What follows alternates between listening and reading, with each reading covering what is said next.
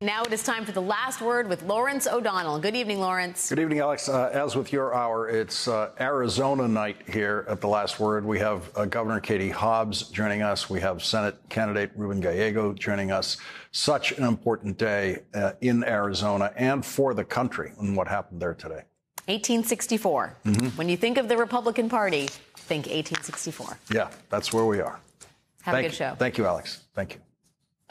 Well, Arizona has a longer history as part of Spain than it does as part of the United States. The name Arizona is thought to be a blend of Spanish and a local tribal language meaning small spring. Arizona spent 300 years as part of Spain, beginning in 1521.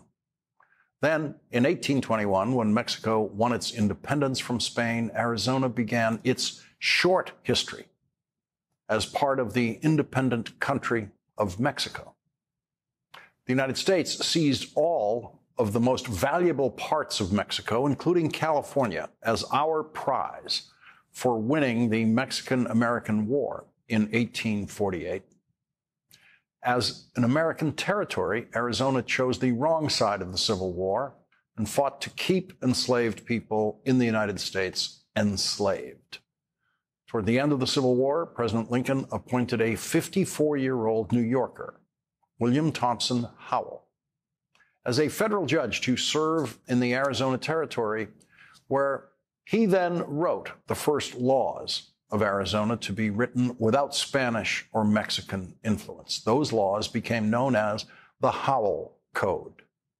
One of the laws in the Howell Code, written in 1864 says a person who provides, supplies, or administers to a pregnant woman or procures such woman to take any medicine, drugs, or substance, or uses or employs any instrument or other means whatever with intent thereby to procure the miscarriage of such woman, unless it is necessary to save her life, shall be punished by imprisonment in the state prison for not less than two years nor more than five years. Arizona was the last of the 48 contiguous states to become a state. 48 years after William Thompson Howell wrote the abortion law of the territory, which was never rewritten by the new state of Arizona, and so remained the law of Arizona until Roe versus Wade was decided in 1973. And now, thanks to Donald Trump, the Howell Code is officially the law on abortion once again in Arizona after the Arizona State Supreme Court today ruled that the 160 year old law is now back in force, in full force, after Donald Trump's appointees on the United States Supreme Court overturned Roe versus Wade. Donald Trump said yesterday that this is exactly what he's always wanted. Donald Trump said that each state should determine abortion law of that state. And whatever they decide must be the law of the land, in this case, the law of the state. The law of the state. And in this case, the law written by one man 54 years before women had the right to vote. Five years in prison. Donald Trump supports five years in prison for anyone in Arizona who participates in any way in an abortion. No one in Arizona has voted for that law, but a majority of the people of Arizona have voted for a governor who opposes that law, a governor to the horror of William Thompson Howell is a woman who will be our first guest tonight. It is a dark day in Arizona. Just now, the Arizona Supreme Court issued its opinion in Planned Parenthood v. Mayes, upholding one of the most extreme abortion bans in the country. To the people across Arizona who are concerned about the future of abortion rights in our state, who are worried about their bodily autonomy, who don't want to see the freedom of their wives, sisters, and daughters restricted, You can make your concerns known at the ballot box, and I encourage you to do so. Governor Katie Hobbs ran against Republican Kari Lake, who fully supported an abortion ban in that campaign. Kari Lake is now running for Senate in Arizona against Democrat Ruben Gallego, who will also be joining us tonight. And today, Kari Lake, like other Republicans, flip flop, flip flopped on the issue. And Kari Lake is suddenly saying something very different about abortion which we'll hear about when Congressman Gallego joins our discussion. Immediately after the Arizona Supreme Court's decision came down, the Vice President of the United States said this. Today, the Arizona Supreme Court issued a ruling that creates a near total abortion ban in the state of Arizona, a ban with no exceptions for rape and incest, a ban that will apply to women before they even know they are pregnant and threatens prison time for nurses and doctors. Understand, to stop bans like this, we need a United States Congress that will restore the protections of Roe v. Wade. And when they do, President Joe Biden will sign it into law.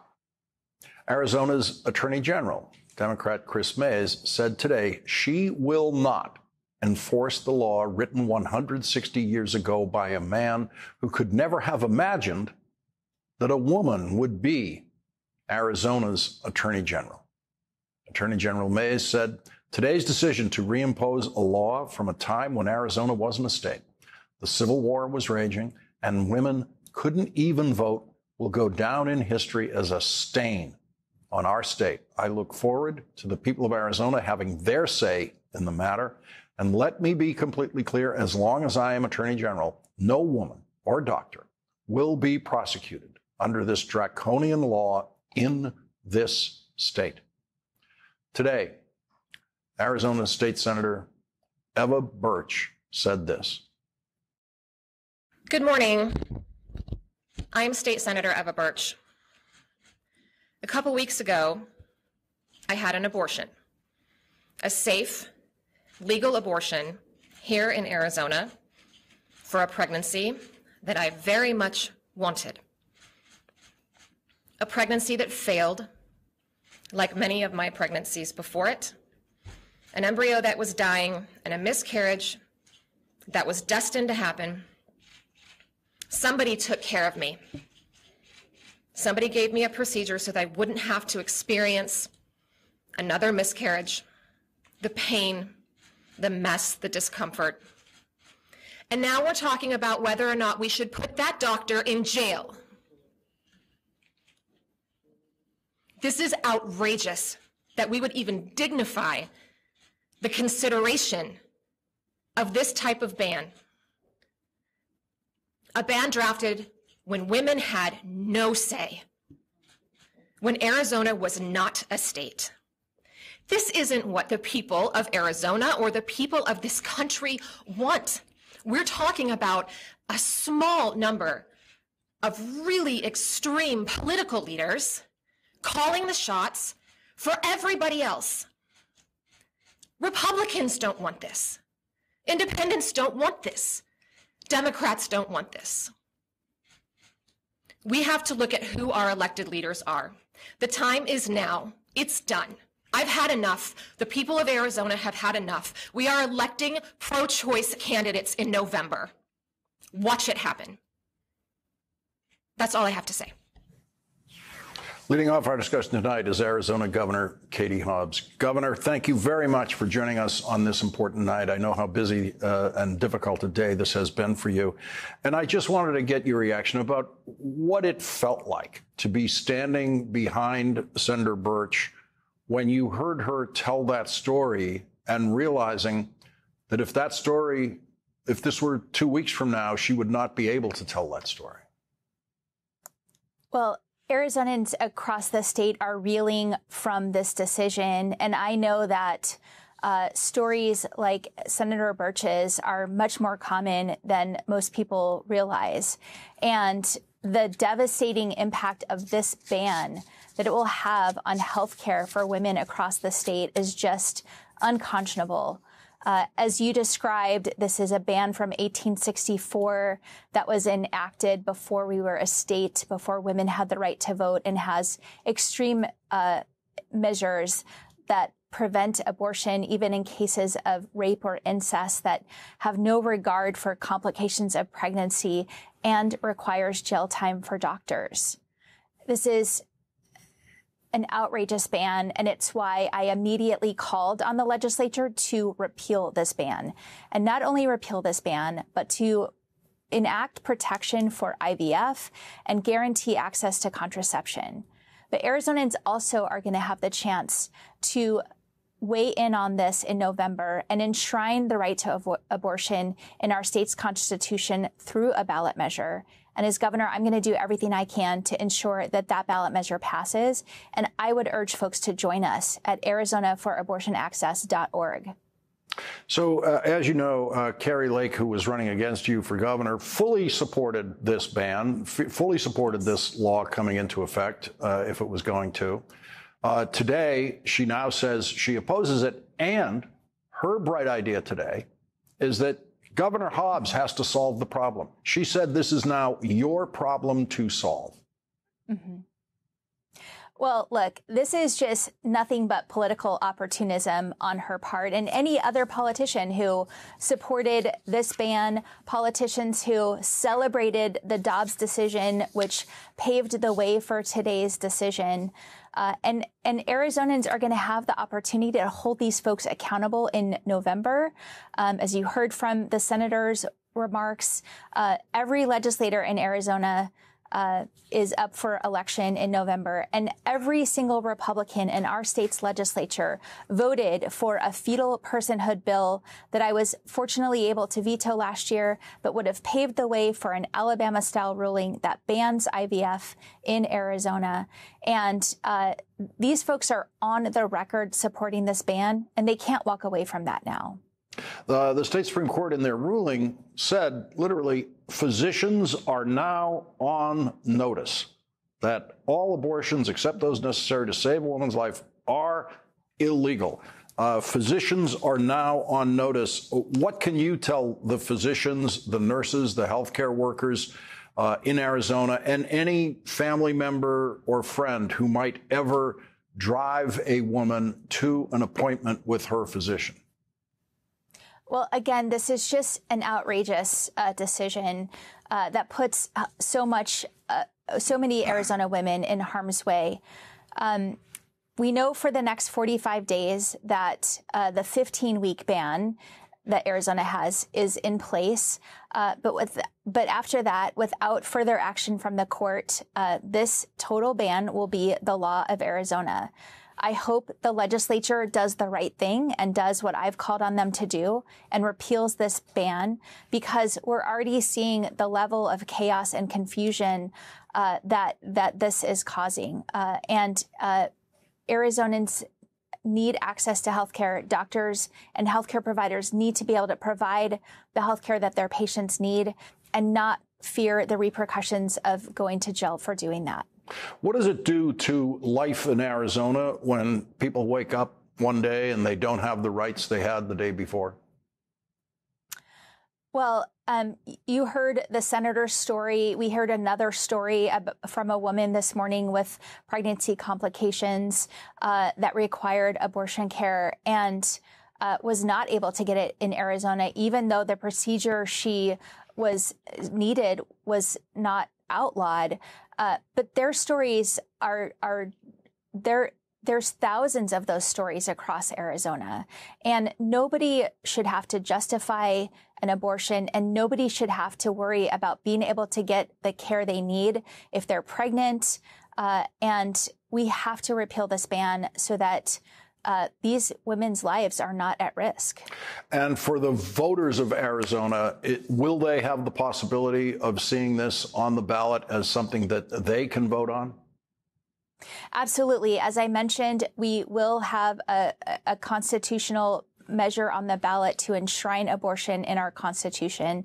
And I uh, am, am, glad Arizonans are going to have the opportunity to have their voice heard on this. Uh, it is a common sense measure. Uh, access to abortion is supported by the vast majority of Arizonans, and I'm confident that it will pass. And as governor, I'm going to do everything I can to help make sure that it does. Uh, meanwhile, it seems you're headed for uh, almost a year, at least, even if that passes, uh, of people living under this 1864 uh, law. I'm incredibly concerned about what happens between now and November uh, and when this uh, uh, measure goes into law. And that's why the legislature needs to repeal this 1864 ban uh, now. They could do it tomorrow if they wanted to. And I hope that they do the right thing. Arizona Governor Katie Hobbs, thank you very much for joining us on this important night. Thank you. Thank you. And joining us now is Alexis McGill Johnson, President and CEO of Planned Parenthood. Planned Parenthood of Arizona was the plaintiff in that case that was decided by the Arizona Supreme Court. Uh, what are you telling uh, people in Arizona and Planned Parenthood in Arizona to do tomorrow and in the coming days? Well, in the coming days, they still will be able to get access. As you know, this doesn't go uh, in, into effect for for a bit. But uh, what we are feeling and hearing is exactly the outrage, the enraging uh, feelings that we just saw from uh, the governor, from uh, Senator Burch, as she told her very personal, private story about her own uh, abortion experience, and the idea that Arizona has taken its citizens back to 1864, 160 years of, you know, essentially taking away an essential right to freedom. That's the conversation that we're having with Arizonans right now, letting them know that we will be there to support them wherever they need to go. thinking about all my colleagues who are going to see the influx of patients in California Colorado and New Mexico, and also thinking about the fight that needs to be like lit under fire in Arizona for all of those folks who need to understand that this did not need to happen. There's no reason why we are here right now. That, that this court felt that they could put providers of healthcare on notice for providing the very care that Senator Burch needed is just astounding to us. Yeah, that line in the opinion saying physicians are now on notice, that means Planned Parenthood is now on notice. They're saying that directly to you, that you are now on notice uh, in the state of Arizona. How did it feel to read that line in the decision? Well, we're, we're always on notice and we're always a, a target because not only do we provide uh, full spectrum of reproductive health care, we also fight to defend it. And you know and so being on notice is you know quite frankly it's it's an honor. It's a badge of honor because i know that we are on the right side of history and we're on the right side of of doing what we need to to support care.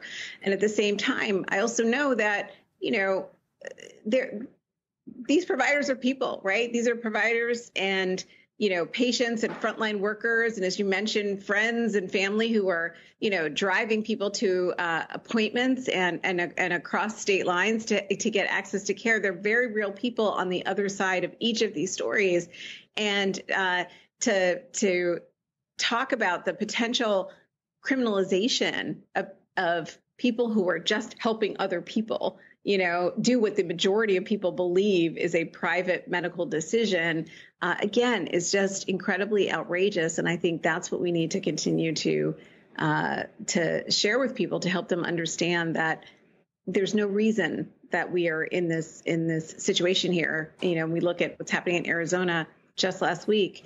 We saw what happened in Florida, and uh, you know, continuing to watch uh, the doubling down on taking away reproductive freedom at a time when Americans are telling you every single day that they want these protections just seems so uh, so backwards to me. Alexis McGill Johnson, President of Planned Parenthood, thank you very much for joining us on this important night. Thank you. Thank you. And coming up, the only person standing between Republican Kari Lake and the United States Senate in Arizona is our next guest, Congressman Ruben Gallego now the Democratic candidate for Senate in Arizona. Ruben Gallego joins us next.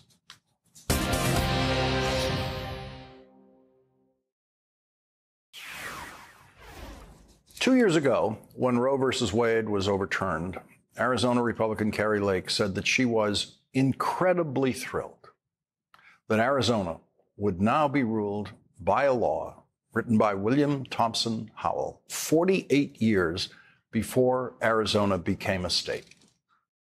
I'm incredibly thrilled that we are going to have a great law that's already on the books. So it will prohibit abortion in Arizona, and I think we're going to be paving the way and setting course for other states to follow. Incredibly thrilled, a great law. She called it a great law, written in 1864. Kari Lake is now the Republican candidate for Senate in Arizona. And she's no longer willing to say what she said two years ago, what you just heard her say. In fact, now she's saying the exact opposite. Kari Lake released a statement saying, quote, I oppose today's ruling, and I am calling on Katie Hobbs and the state legislature to come up with an immediate common sense solution that Arizonans can support. So that's Kari Lake calling on the woman who defeated her for governor, Katie Hobbs, to solve the problem created by Donald Trump and his appointees to the United States Supreme Court overturning Roe versus Wade. In that same written statement, Kari Lake said that she will oppose federal bans on abortion.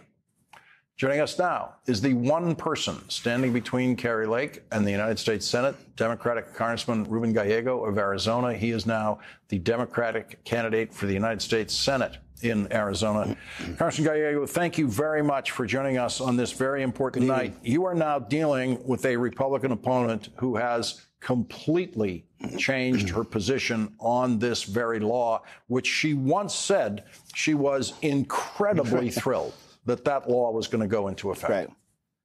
Well, she, she changed her opinion, but it doesn't make the danger any less to the women of Arizona. Right now, in 2024, the women of Arizona have the same rights as the women uh, in Arizona of 1864. Uh, just, just think about that. My daughter, my nine month year old daughter has less rights than my wife did growing up, than my sisters, than my mom did growing up.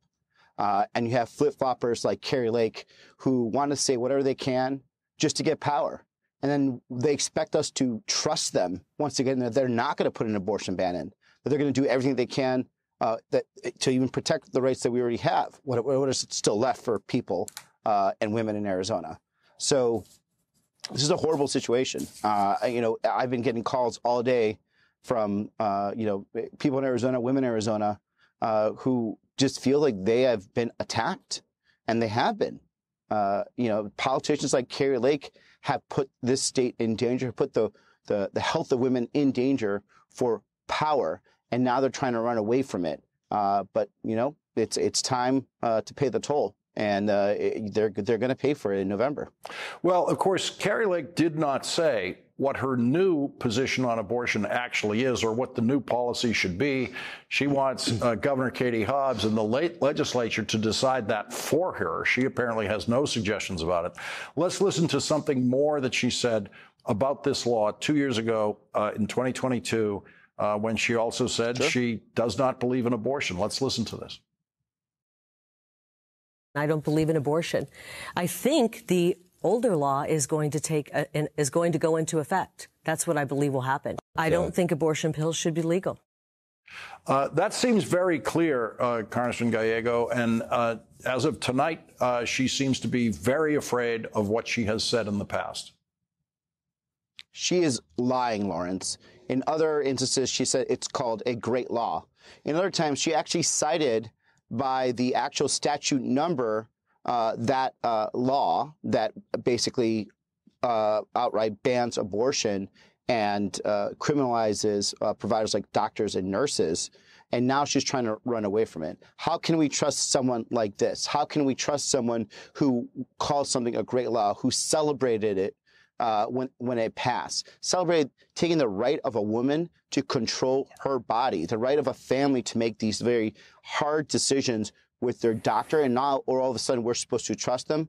Absolutely not. Arizona is going to stop Kari Lake. Arizona's going to stop all these radical extremists that are trying to take away women's rights to control their bodies.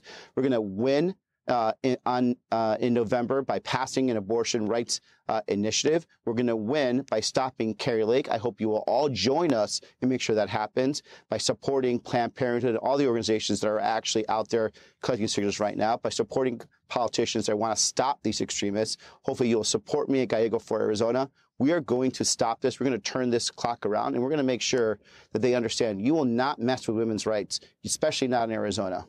And of course, uh, a Republican senator from Arizona, Kari Lake, if she were to be a Republican senator, would be voting for uh, any Republican nominated judges. Uh, if Donald Trump were back in the White House, she'd be voting for every one of those judges who has created this situation in Arizona tonight. Absolutely. Judges, but we're not even talking just judges. What about what happens with abortion pills? She's clearly stated, and she hasn't changed her position, that she wants to uh, outright ban uh, abortion pills. Uh, she has lied. She has lied to the women of Arizona. She's going to continue to lie because all she cares about is power. Doesn't matter what she has to say. Doesn't matter who she has to lie to. If she has to throw women's health under the bus, she will do it and she will lie. And once she gets in, she will do whatever she can to continue her radical extremist agenda. So we have an opportunity to push back. We have an opportunity right now to stop. Let's not let our foot off the gas. We can win this. We could send a message across the country. Arizona, the swingiest state in the country, is a pro abortion state. Uh, and when we vote for pro abortion politicians uh, in November and pass a pro abortion initiative, she will lose. And that will send a message to the rest of this country that this country wants women to have a right to control their body. Uh, Arizona voters uh, should at some point realize this is up to them. But in the meantime, there will be suffering. This will be a very difficult year ahead uh, between now and election day and beyond, because whatever whatever votes are cast on election day don't change what's going on in the state the next day. Uh, that people have to be right. sworn in to take office. The uh, the ballot initiative has to become law. It's not it's not instant and automatic. So there's there's definitely very difficult months ahead it seems, for the people of Arizona. Yeah. Absolutely. Uh, look, I think the Governor uh, Hobbs uh, is going to, and, and our Attorney General Chris Mayes uh, ha- have laid down the marker that they're going to protect women uh, and providers in Arizona. You have a legislature that, if they wanted to deal with this, they could just go and reject and turn around this law by statute and vote for it uh, for all these Republicans now that we're suddenly, uh, you know, having a, a an epiphany, uh, then this is the time to do it. Uh, overturn this law, uh, codify Roe, uh, and make Arizona the pro-abortion state that its people are. Arizona is a pro-abortion state. We are a state that is for independent freedom. Uh, and the Republicans uh, and these extremists are going to discover that if they don't respect women and their right to control their body. Congressman Ruben Gallego, candidate for Senate in Arizona, thank you very much for joining us tonight. Thank you. Thank you. And coming up, today, defendant Trump lost his final attempt to delay the beginning of his first criminal trial. That begins on Monday, and that's next.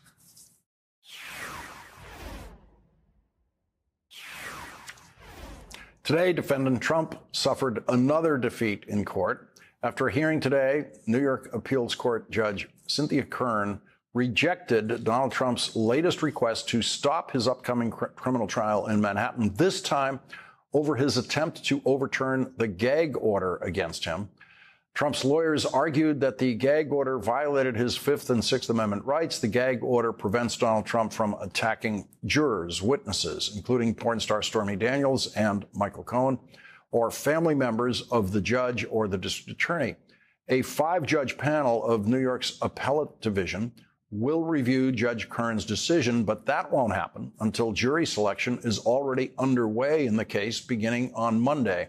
Joining our discussion now is Harry Litman, a former U.S. attorney and former deputy assistant attorney general. He is the senior legal affairs columnist for the Los Angeles Times. Uh, Harry, it looks like uh, there is nothing between us and jury selection starting on Monday at this point. It sure looks that way. And uh, notwithstanding Trump's flailing efforts over the last few days. He seems to be a fly on flypaper who uh, the judge, the appellate division, as you said, are all on to him. Of course, other uh, defendants may have bottoms uh, below which they won't go of shame or outrage or dishonesty. They don't apply to Trump. So there are truly outlandish over the top stunts he might yet try. He might uh, fall ill. He might fire his counsel. He might cause a spectacle trying to force a mistrial. All those things are within his can, as we've seen in the last few years. But he's tried everything conventional and then some. And it looks like, you know, like a freight train, jury selection is coming on Monday. It also looks like Donald Trump really fears actually going to trial. You know, it really does. There's been suggestion among his champions, oh, this one isn't so serious. An important point, by the way, in the jury questionnaire is the judge is really putting it in terms, the right terms of election interference. We're told, however, that he is totally irate over the um, allegations, and he is notwithstanding this being, you know, one of only four. He is really fit to be tied. And look, you know, he has spent years successfully delaying. He's lost motion after motion, but he has been able to beat the clock again and again. And here he isn't. And really, you know, it, the, the music really seems to be stopping for him now. And it's time to, to actually sit there. That's got to be very galling given his assumption that he could delay anything.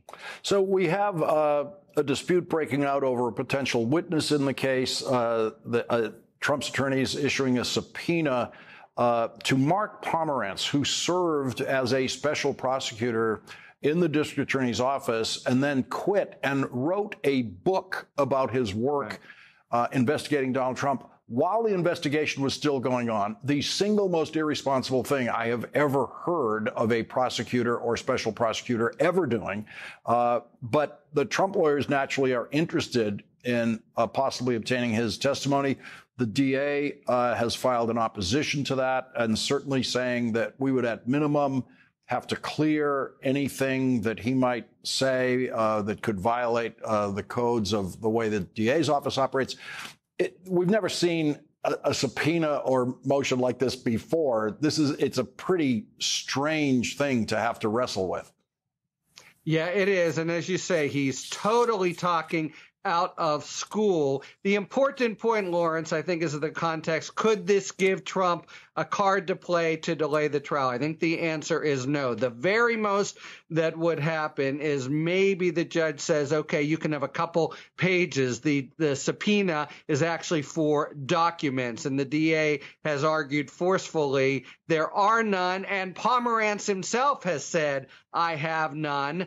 Uh, so at most, you could imagine, even if Merchan is sympathetic, uh, saying, "All right, have a couple pages, do what, do your worst," but it won't be a mechanism for delaying that. There, it just doesn't uh, hunt, and that's the most important immediate point that that you know he is. It's not a way for him to to get out of the what's coming. One of the things that Donald Trump has to fear about this trial is how simple and clear and easy it's going to be for people to follow uh, through the news media.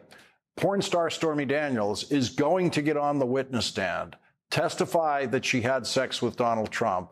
Uh, who knows how much detail uh, will come out about that in, in that testimony. Uh, and then that she was paid by Donald Trump uh, for her silence uh, as the presidential election was approaching. that is the testimony that Donald Trump is obviously living in fear of.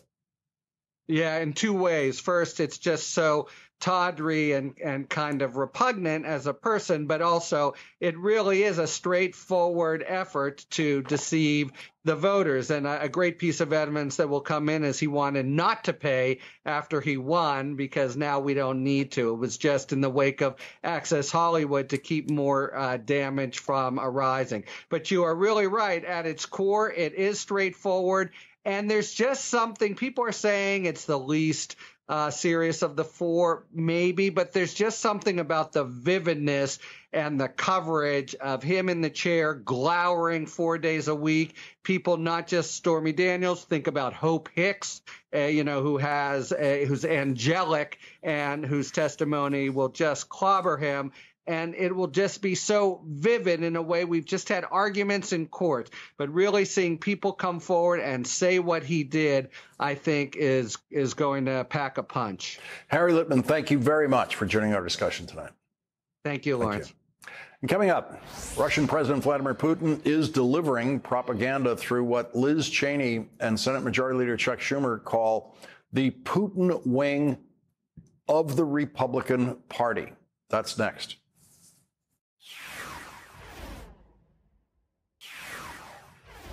The consistently stupid Republican Congresswoman Marjorie Taylor Greene is part of what Senate Majority Leader Chuck Schumer now calls the Putin wing of the Republican Party. Former Republican Congresswoman Liz Cheney was the first to refer to the Putin wing of the Republican Party.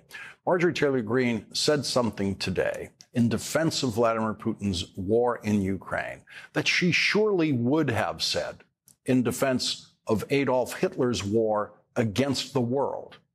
Marjorie Taylor Greene said, the Ukrainian government is attacking Christians. Russia is not doing that. The German soldiers who the United States of America killed in World War II were Christians. So, yes, the United States was attacking Christians during World War II in Europe, if that's the way you want to put it. Christians who believed in their superiority to the point that they were trying to murder every Jew in Europe. That's who the United States forces were killing during World War II. Russia is filled with people now who call themselves Christians. So is Ukraine. President Biden issued an executive order today to try to combat Vladimir Putin and the Russian government's attempt to, quote, undermine the conduct of free and fair democratic elections and democratic institutions in the United States and its allies and partners. Vladimir Putin is at it again, pumping Russian propaganda through willing transmitters like the imbecilic Marjorie Taylor Greene into American politics. Let's be blunt. The biggest reason Ukraine is losing the war is because here in the United States Congress, the hard right has paralyzed the United States House of Representatives from taking necessary action. That's it. Plain and simple. No ands, ifs, or buts. House Republicans have refused to move because an increasingly vocal pro Russian, pro Putin minority seems to be running the show within their ranks. A contingent that takes its marching orders directly from Donald Trump. And one, as one former House GOP member called them, they are like the Putin wing of the Republican Party. Senator Schumer had more to say today on the Senate floor. Even the Republican chairman of the House Intelligence Committee admits that some within his own party are becoming evangelists of Russian propaganda. We see directly coming from Russia uh, attempts to mask communications that are anti Ukraine and pro Russia messages, some of which we even hear being uttered on the House floor. Joining our discussion now is Democratic Congressman Eric Swalwell of California. He's a member of the House Judiciary Committee and Homeland Security Committees. He also served as an impeachment manager in the second impeachment trial of Donald Trump. Uh, Congressman Swalwell, we don't know how you do it. We do not know how you share a workplace with Marjorie Taylor Greene. Uh, well, Lawrence, uh, it's a workplace where I know uh, the majority uh, of the Congress stands with Ukraine, and the majority of Americans stand with Ukraine. And so I try every day to separate the signal uh, from the noise. Uh, but right now, uh, what is very concerning is in Vladimir Putin's battle plans, he looks at his air, land, sea, and now MAGA resources. It's almost as if they have, you know, a fourth uh, level of resources to take on Ukraine, and that's not from outside of Russia, but that's from inside the United States Congress. Let's listen to more of what This is Republican Mike Turner now, what he had to say about this, uh, about the, the way the propaganda takes hold in the House of Representatives. There are members of Congress today who still incorrectly say that this conflict between Russia and Ukraine is over NATO, which of course it is not. Uh, Vladimir Putin having made it very clear, both publicly and to his own population, that his his uh, view is that this is a conflict of, of a much broader claim of Russia uh, to Eastern Europe, and including claiming all of Ukraine territory as, as Russia's. Uh, Congressman Swalwell, uh, he how is how can he speak so clearly and openly about this and maintain his chairmanship on the Republican side? I, I fear he may not be, you know, chair for long because Marjorie Taylor Greene uh, is trying to replace Speaker Johnson for even thinking to bring Ukraine aid, and, and the chair is directly appointed uh, by the speaker. It's not elected by uh, the membership, uh, and, and that's why this aid know, needs to be passed, you know, so quickly. But I want to give your viewers two numbers to think about because when Marjorie Taylor Greene and, and Donald Trump root for Russia, they're also rooting against the American worker. And the numbers are 75 and 57. $75 billion, that's a lot of money uh, that we've invested in Ukraine's freedom and, and our freedom. 57 billion of that has been spent inside the United States. So this is Amer- we're not sending troops abroad, but we're employing Americans, and that's five and a half billion that's been spent in Texas, Pennsylvania, and Arizona. So there's a real return on this, not just for our freedom, uh, but for uh, our livelihood uh, and work that's being done here at home. Yeah, that's a, a point that uh, President Biden makes repeatedly that uh, we're not sending money over there for them to buy arms. Uh, we are sending them arms that are manufactured by Americans here in the United States. Uh, that's right, Lawrence. So when you root against uh, Ukraine and you show yourself as a, a Putin bloc, uh, again, you're putting uh, our democracy at risk. And, and I've had conversations uh, in person in the last couple days with leaders all over the world, and they're asking me, is America up for this? and they are promising me that if we are not up for this, no one else will be up for this. And it's going to cost us a lot more than just jobs. Uh, it's going to be freedom, our standing in the world, and that will cost, in the long run, a lot more to get back uh, than what it will cost to keep it uh, and build on it right now. Congressman Eric Swalwell, thank you very much for joining our discussion tonight. Thank you. We'll be right back.